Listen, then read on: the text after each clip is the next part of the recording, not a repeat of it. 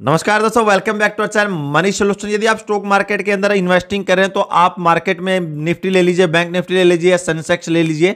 आप अच्छी तरह से उनको ट्रैक कर रहे होंगे। मार्केट अपने पुराने ट्रैक को अभी वापस लौट रही है।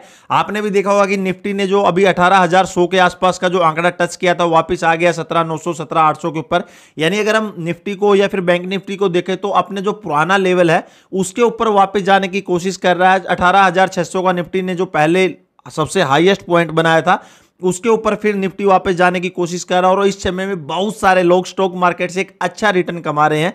लेकिन कुछ ऐसे स्पेशलाइज स्टॉक भी हैं जो निफ्टी, बैंक निफ्टी या फिर अगर सनसेक्स की बात करें इनको भी दोस्तों आउट परफॉर्म कर रहे हैं। इनसे बहुत ही ज़्यादा जो अच्छा रिटर्न कुछ स्पेशलाइज स्टॉक में इधर आपको देखने को मिल जाएगा और बहुत सारे ऐसे पैनिक स्टॉक हैं जो फ्यूचर में आने वाले मल्टी बैगर स्टॉक बनने जा रहे हैं। दोस्तों, आज की इस वीडियो में हम ऐसे ही एक पैनिक स्टॉक का रिव्यू करेंगे जो आगे जाकर मल्टी बैगर स्टॉक बन सकता है। मैं बात कर रहा हूँ Vikas life care limited company के स्टॉक के बारे में। इधर हम दोस्तों, जो विकास लाइफ के स्टॉक है, उसके फंडामेंटल और टेक्निकल एनालिसिस करेंगे और हमें कब बाय सेल या होल्ड करना चाहिए।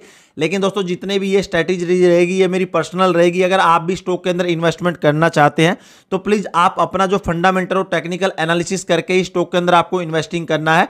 दोस्तों, Vikas life care limited company के स्टॉक में इन्वेस्ट करने से पहले हम कंपनी की प्रोफ़ाइल देख लेते हैं कि एग्जैक्टली कंपनी करती क्या है। अगर हम कंपनी के प्रोफ़ाइल को देखते हो कंपनी जो केमिकल कंपाउंड है पोलीमर है पीवीसी है प्लास्टिक ग्रेनुअल्स है प्लास्टिक रिलेटेड जो प्रोडक्ट है हमारे देश में, उससे रिलेटेड जो एक मतलब उनके अंदर जो मैन्युफैक्चरिंग है, उनके अंदर जो प्रोडक्ट का में काम कर रही है। ये कंपनी दोस्तों, उसके बाद रियल एस्टेट, ट्रेड्स, पॉलीमर और जो जितने भी दोस्तों ये ट्रेंडिंग जो है कैशोनर्स हैं, उनके अंदर भी कंपनी अपना जो अच्छा खासा इधर इनकम कमा रही है। और लेटेस्ट ये आपको पता होगा कि Vikas life care limited company ने तेरह जनवरी 2022 को जो Genesis gas solution private limited company है, उसके 75 परसेंट जो स्टेक ले लिया था। और उसके बाद जितने भी दोस्तों, जो आईजीएल है, इनके साथ भी जो डिस्ट्रीब्यूशन में है, दोस्तों, जो Vikas life care limited company काम कर है। यानी कंपनी का जो बिज़नेस है अच्छा खासा फैला हुआ है। कंपनी का जो मैन दोस्तों, जो बिज़नेस जो प्रोडक्शन है, मैंने आपको बता दिया। तो अभी मैं आपको लेकर चलता हूँ अपनी कंप्यूटर स्क्रीन के ऊपर और Vikas life care limited company के स्टॉक का इधर टेक्निकल और फंडामेंटल एनालिसिस करते हैं। तो चलिए दोस्तों वीडियो करते हैं। Vikas life care limited stock के बारे में इधर रिव्यू करते हैं तो अगर हम फ्राइडे की बात करें, स्टॉक ने इधर दोस्तों छह रुपए पाँच पैसे के ऊपर क्लोजिंग दी है। अप्रोक्सीमेटली जो स्टॉक है six point one four percent की इधर बढ़ोतरी दी है। अगर हम निफ्टी की बात करें, निफ्टी के मुकाबले में बहुत तगड़ी जो गति से स्टॉक ने इधर अच्छा जो अपवर्ड मूवमेंट दिया है, और इधर आप चार्ट भी देख सकते हैं। उसके बाद अगर हम स्टॉक की बात करें, अगर हम इसकी स्ट्रेंथ की बात करें, क्योंकि स्टॉक में इन्वेस्ट करने से पहले हमें स्ट्रेंथ के बारे में पता होना चाहिए। जो इनका दोस्तों प्रॉफिट है, वो एवरी क्वार्टर पिछले तीन का लगातार कंटिन्यू इंक्रीज होता जा रहा है। कंपनी का जो रेवेन्यू अगर हम पाँच दो क्वार्टर की बात करें, वो भी इंक्रीज हो रहा है। और स्टॉक ने 20 परसेंट से ज़्यादा एक महीने के अंदर इधर अपने इन्वेस्टरों को रिटर्न दिया है। कंपनी के जो प्रमोटर है, उन्होंने कोई भी प्लेज नहीं किया। ये सबसे अच्छी बात है, क्योंकि अगर प्रमोटर मज़बूत रहेंगे तो कंपनी भी अच्छी तरह से ग्रो करेगी। और अगर हम प्राइस की बात करें तो शॉर्ट टर्म और मीडियम और लॉन्ग टर्म मूविंग एवरेज इधर अच्छे हैं। लेकिन हमें वीकनेस भी पता होना चाहिए। वीकनेस है कि जो इनका स्कोर है कंपनी विद वीक फाइनेंशियल थोड़े नज़र आ रहे हैं।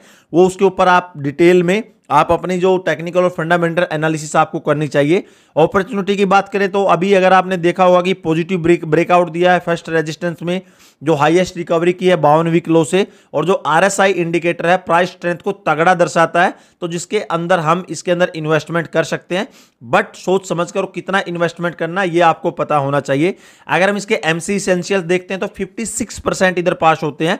और अगर हम एमसी टेक्निकल्स देखते हैं ट्रेंड को देखते हैं तो वेरी ब्यूलिश नज़र आता है। अगर हम आज की बात करते हैं फ्राइडे की, फ्राइडे को अप्रोक्सीमेट अगर हम ओपन छह रुपए पे हुआ था प्रीवियस क्लोज पाँच रुपए सत्तर पैसे भी होता वॉल्यूम देख लीजिए वॉल्यूम तगड़ी इधर ट्रेड हुई है। वॉल्यूम लाक्स में भी इधर आप लोग देख सकते हैं। एडवांस चार्ट को हम थोड़ा सा बाद में डिस्कस करेंगे। उससे पहले हम दोस्तों इधर देख लेते हैं कि मार्केट का चल क्या रहा है। अगर हम इसके एमसी टेक्निकल्स को देखते हैं तो ट्रेंड वेरी ब्यूलिश है मूविंग एवरेज ब्यूलिश है टेक्निकल इंडिकेटर ब्यूलिश है और मूविंग एवरेज क्रॉसओवर वो थोड़ा सा इधर बीरिश नज़र आता है। लेकिन अगर हम वॉल्यूम और उसकी बात करते हैं तो वॉल्यूम में दोस्तों इधर तगड़ा जो अपवर्ड मूवमेंट इधर दिखाई दे रहा है। अगर हम कम्युनिटी सेंटीमेंट्स की बात करें तो कम्युनिटी सेंटीमेंट्स भी 91 परसेंट लोग इधर बाय की सलाह दे रहे हैं। 9 परसेंट लोग सेल की और होल्डिंग की इधर दोस्तों ज़ीरो परसेंट लोग सलाह दे रहे हैं। तो आप अपने हिसाब से इधर इसके अंदर ट्रेड कर सकते हैं, इन्वेस्टिंग कर सकते हैं, जिस भी हिसाब से। अगर आपको लगता है कि हाँ इधर हमें इन्वेस्टमेंट करना चाहिए, लेकिन मेरे हिसाब से स्टॉक इधर अच्छा परफॉर्म करेगा। अगर हम इसके एडवांस चार्ट की बात करते हैं तो देखिए ये एडवांस चार्ट आ गया। एडवांस चार्ट में इधर आप लोग देख रहे हो जो वॉल्यूम है, इधर मैंने वॉल्यूम के ऊपर जो कर्सर रखा है। कंटिन्यू दोस्तों, अगर हम देखें, बुधवार, गुरुवार, शुक्रवार शुक्रवार को बहुत ही ज़्यादा तगड़ी वॉल्यूम रही है और इसके बाद आरएसआई भी आप लोग देख लीजिए साठ से ऊपर चला गया है रिलेटिव स्ट्रेंथ इंडेक्स। दोस्तों, जो स्टॉक के अंदर जो स्ट्रेंथ कितनी है उसको दर्शाता है। और इधर देख लीजिए जो पीछे क्लोजिंग दी थी पाँच रुपए पचहत्तर पैसे के बाद स्टॉक सीधा लगभग छह परसेंट के वो उछला है। और अगर हम इधर की बात करें, अगर हम इसके तो ट्रेंड लाइन को ड्रा करते हैं, क्योंकि ट्रेंड लाइन ड्रा करने से हमें बहुत कुछ चला, पता लग जाता है। अगर देखिए, इधर ये तगड़ा रेजिस्टेंस का काम कर रहा था स्टॉक लेकिन इधर ये छह रुपए दो पैसे का इधर रेजिस्टेंस है स्टॉक ने तोड़ दिया है।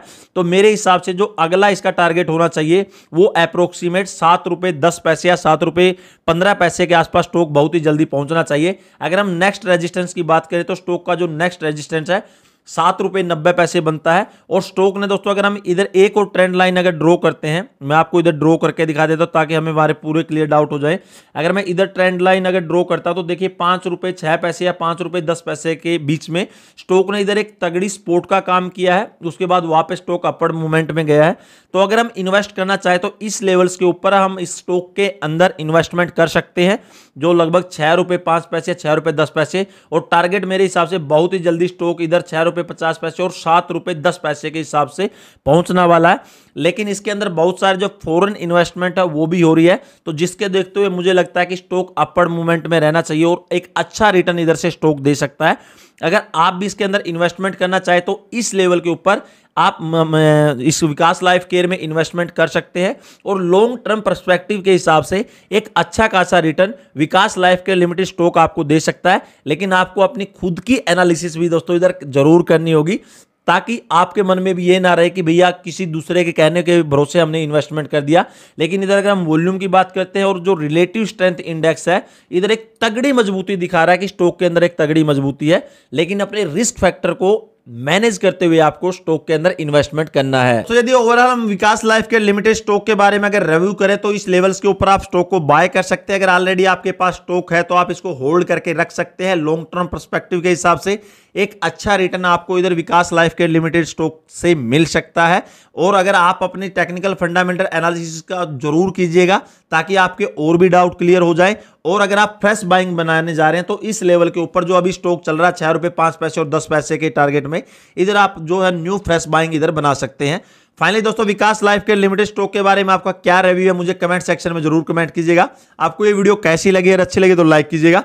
दोस्तों, फिर मिलेंगे इसी तरह वीडियो के साथ। तब तक के लिए जय हिंद, वंदे मातरम।